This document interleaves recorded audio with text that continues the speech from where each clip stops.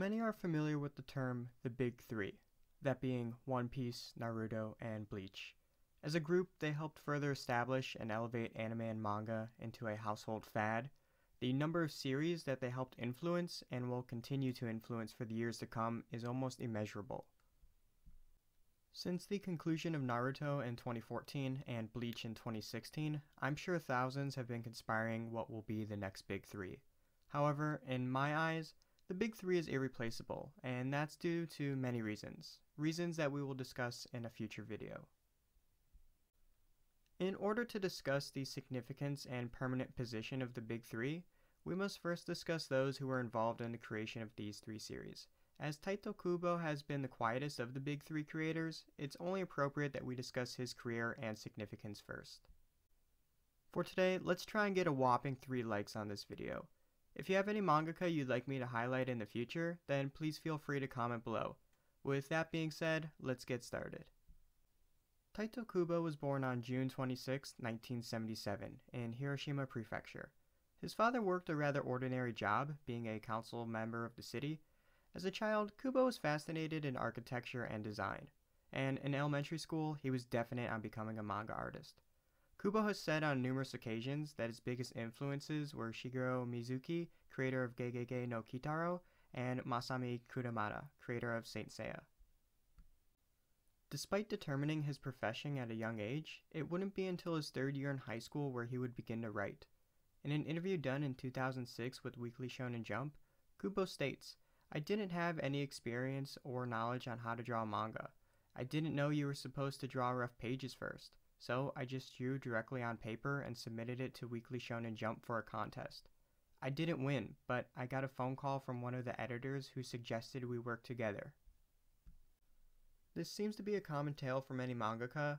With no clear guidance on how to become a manga artist, most just submit rough material, hoping for feedback. As one would guess, that call Kubo received ended up working out in his favor. By the age of 19, Kubo would release his first of three one-shots that he had written during the 90s, titled Ultra Unholy Hearted Machine, in Weekly Shonen Jump's magazine, produced by Shueisha. The cover page would display the back of a shirtless man with the words Love, Expose, Delete carved into his back. With being a debut piece, the one shot didn't showcase Kubo's signature angular artwork, in which he'd later be known for. However, it was able to reveal that there was potential, with our story following two characters, Beinhard Rosner and his partner Tina Tina. Together, the two would work as the leaders, with the purpose of making people and buildings just vanish. Even now, when looking at this one shot, I'm still left amazed that this was Kubo's debut piece. While it's nothing spectacular, Kubo at the time had barely any experience, yet he still managed to tell an interesting story. I think Kubo was successful in showcasing his talent for that time, it's definitely something I recommend, especially to those who love Bleach and support Kubo. It's also noteworthy to mention that Eiichiro Oda debuted Romance Dawn in the same issue. In a quick turnaround, Kubo would release another one-shot in that same year, titled Rune Master Urara. Once again, this would be printed in Weekly Shonen Jump, produced by Shueisha.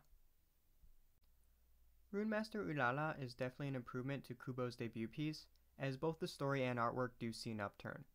Our story this time follows Urara, a young girl who clashes with many demons and hopes to defeat her. With the powers of her tattoos, Urara is able to defeat and bind them to her body, thus using them for future battles.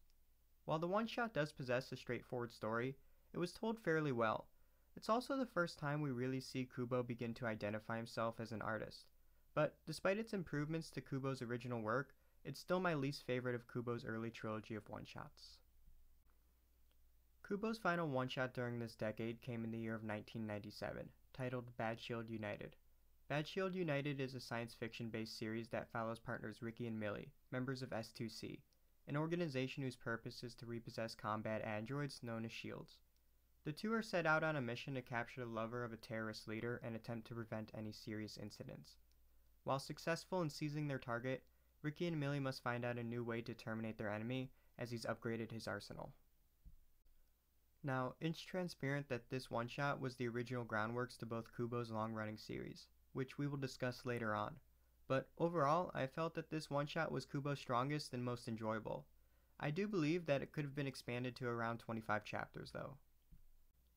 Following the release of Kubo's three one shots, he would release his first ongoing series titled Zombie Powder.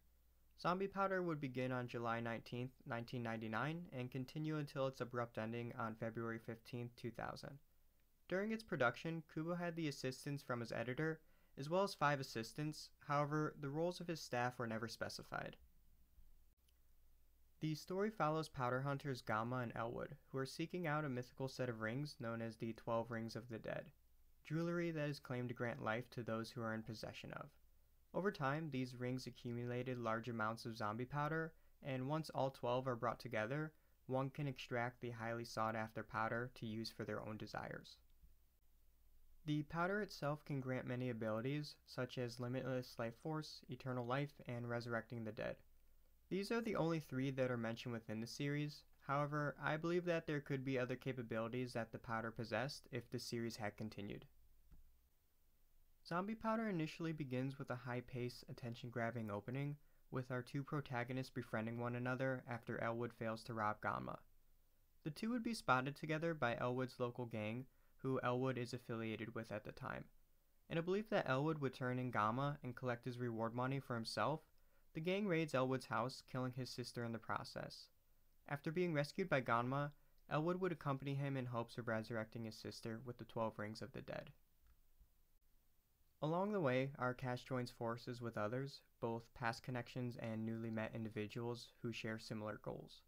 Their quest for the rings, however, would have many obstacles in their way, one of those being Kubo's inexperience as a manga artist.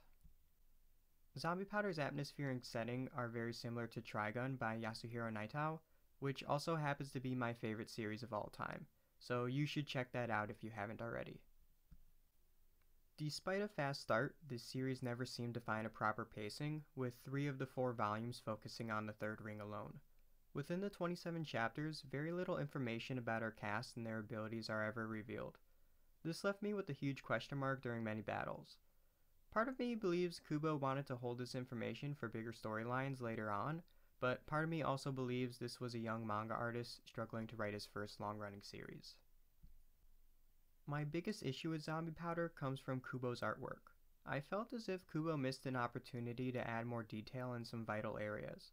With Zombie Powder's setting being a flat landscape, Kubo should have taken a stronger approach with character details and action scenes. While providing clean artwork, it just felt plain.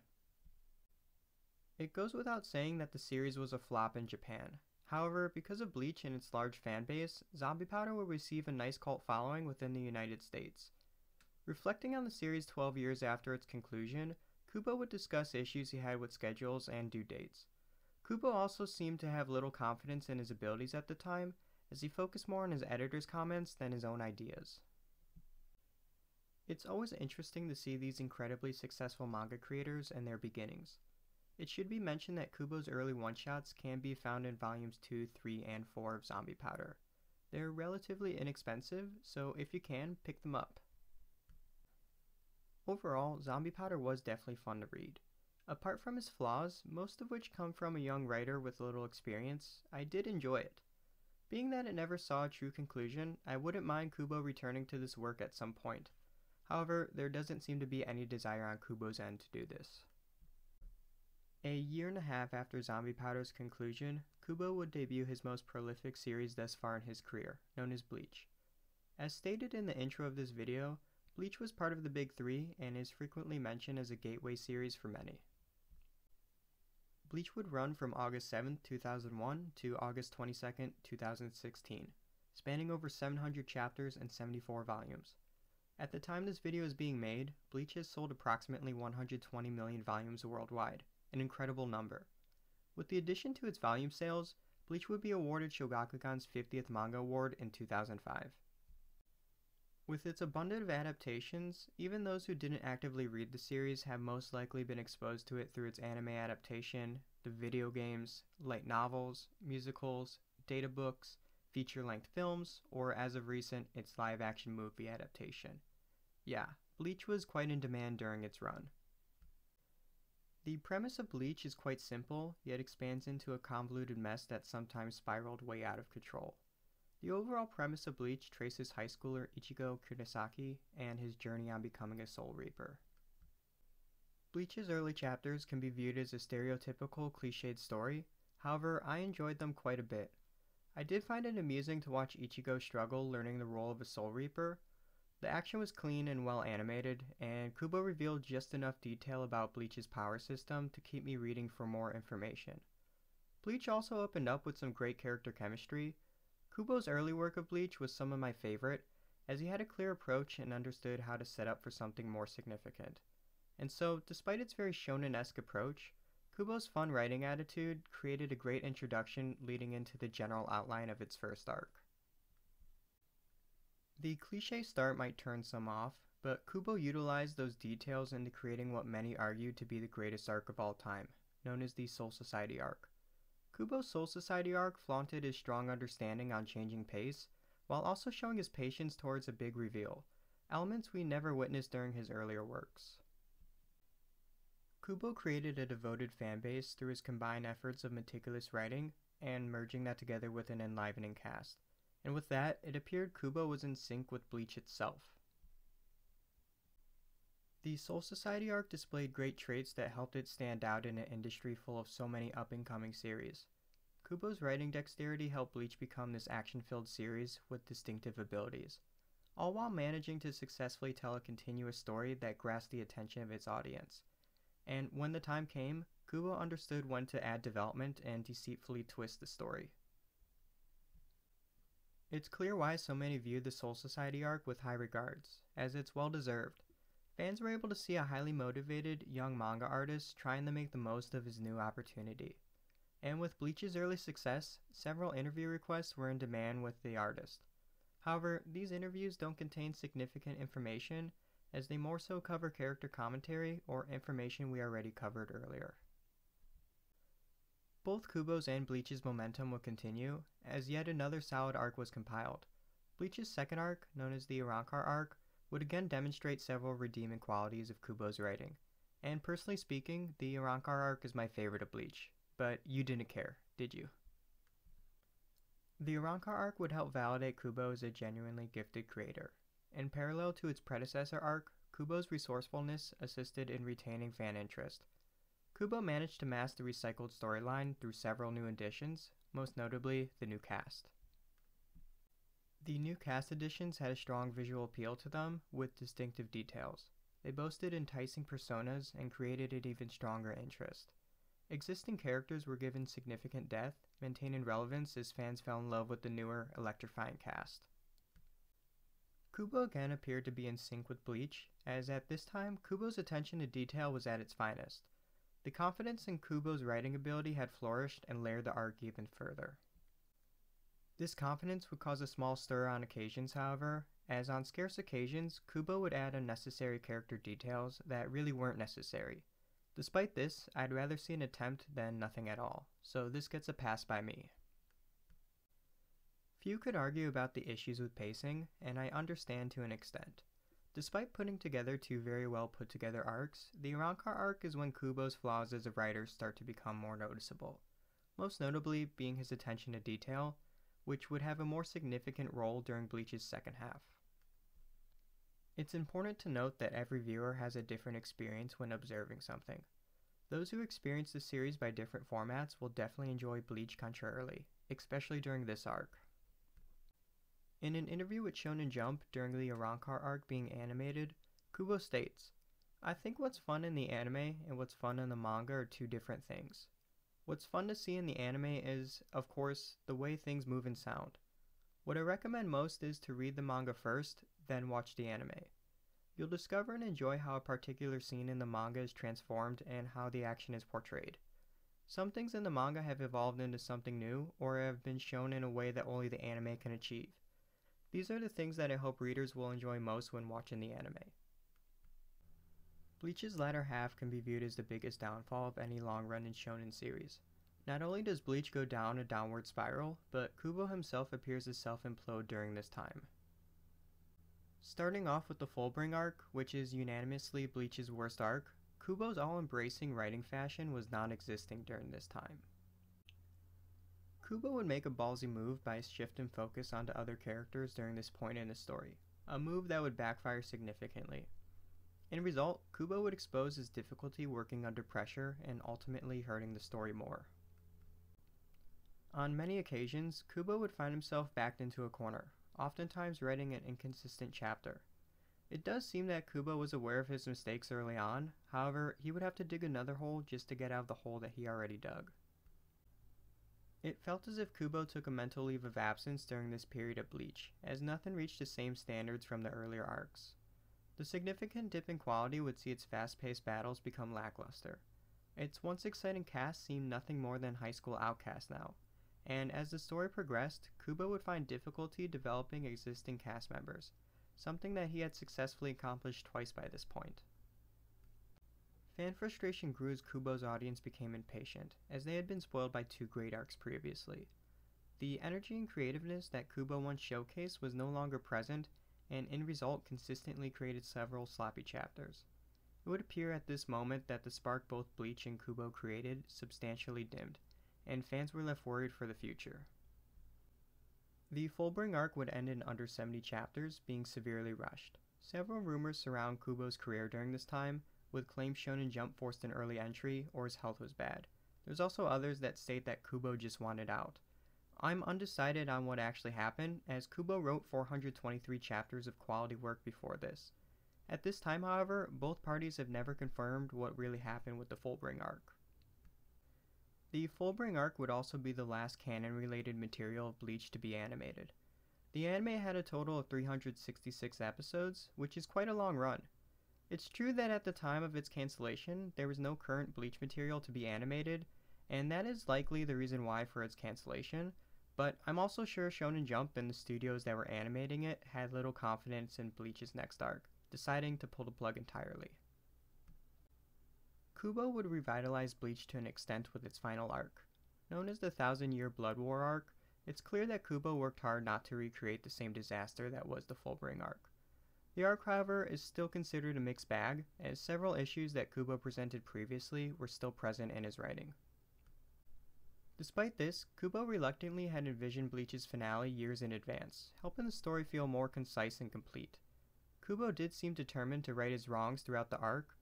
This motivation would help him establish another enjoyable cast, while also reinstating several fan favorites, which I personally really enjoyed. However, Kubo would again fail to appropriately introduce these characters' abilities, often overpowering them and leaving some existing cast members to appear lost. In result, there were several unclimactic battles, making some victories feel undeserved or just ending for the sake of the plot. Kubo would attempt to recycle bits and pieces from previous arcs, oftentimes succeeding, which I found amusing. Kubo's early visions of Bleach's finale definitely helped him build a fairly strong and engaging story. Once more, though, we saw Kubo's severe attentiveness to detail impact the story in a negative manner. The amount of over detail would remove a lot of true significance as the story became too confusing or convoluted.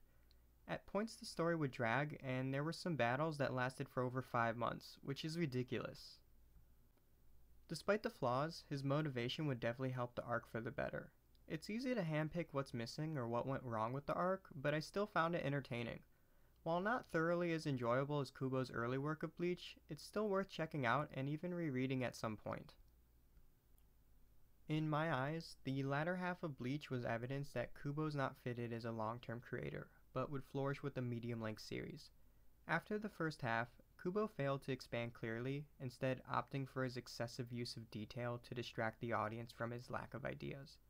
From a creator's perspective, there's nothing wrong with hitting a roadblock, but as a professional, Kubo should have requested a hiatus to ensure a solid story. Despite the downfall Bleach encountered, its conclusion would leave a big void in the industry. As much as it was flawed, Bleach and Kubo were loved and endured by millions on a weekly basis. And even to this day, I don't get the same excitement I once did when checking out weekly releases. For me, nostalgia might be playing a factor, but Kubo and Bleach's dynamism has yet to be mimicked. Kubo and Bleach had a significant impact on the industry, but while it was sad to see it end, it was time for the next generation to take over. In an interview with TBS Radio, Kubo would have a very productive conversation about Bleach and his history. During the interview, Kubo does acknowledge Bleach's inconsistencies, mentioning that Bleach at times was on autopilot. What's interesting to point out is that this doesn't seem to bother him in any way, and he mentions other highly flawed series that are praised to this day. Kubo would also mention that it was his decision to end Bleach, not his editor's. Other interesting topics such as his illnesses and health during the series do come into discussion, as well as some matters regarding his personal life. I'm not going to cover all of the interview in this video, so if you're interested, there's a link in the description below. Both audio and text are available. Since the conclusion of Bleach, Kubo has only released one series, a one-shot titled Burn the Witch. Burn the Witch, in my opinion, is nothing more than a bland rehash of Bleach, with the story and characters feeling nearly identical to what Kubo had just concluded two years ago. The story takes place in London, with our protagonist Noelle, a dragon slayer. Before reporting in for duty, Noelle is greeted by her local perv, who only wishes to see her panties. Upon arriving, Noelle and her partner Ninny are assigned on a mundane task. After reaching their destination, Noelle and Ninny receive an urgent phone call requesting their assistance in Noelle's hometown. The two would be asked to fight against the enormously powerful Dark Dragon and, of course, protect the local perv. The two would be victorious, however, due to the dragon touching the perv, he has now become part dragon somehow. So, as a result, he's signed under their care. And that's how the one shot really ends. It's nothing that really impressed me, and I felt that it was just lackluster altogether. Despite me personally despising this one shot, I feel that Kubo had good intentions. It felt more as a thank you to supporters for the last 15 years of support. However, an original one shot with an original stories and characters would have made my support feel much more appreciated, especially after two years since Bleach's conclusion. From my perspective, I just felt that Kubo put in 50% to collect the check and then went home. And in the end, I would have much rather he not made this at all.